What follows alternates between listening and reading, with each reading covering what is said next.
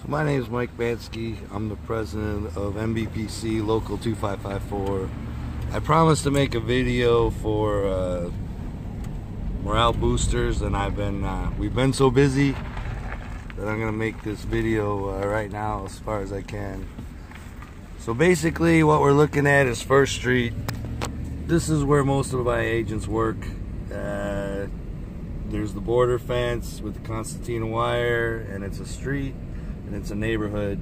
Uh, the illegal aliens jump on this, jump through this fence, cut this fence, and they run into the neighborhoods, and the agents chase them. So our agents work on this street their whole entire lives, and it's really easy to just think that the whole world is this street because this is where they work and this is where they they bleed and this is where they they uh, spend most of their lives.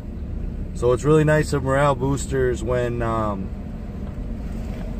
when they send the cards and uh, when they gave us the, the snow cone and maker and when they cooked carne asada for us to let our agents know that their whole life is just not right here that there are people in the United States that uh, that back them up and uh, and that uh, appreciate what they do because it's it's very easy for this place to become your whole life.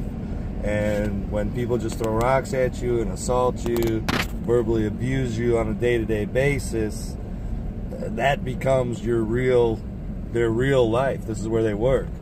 So I just took this video to show people that uh, it's really nice when people from across the United States uh, send send the cards to the agents and uh, the work that Morale Boosters does is really great. Um, it, it, shows them that there's people out there that back them up and that appreciate the work they do. And we just want to really thank Morale Boosters for all the work they've done for us.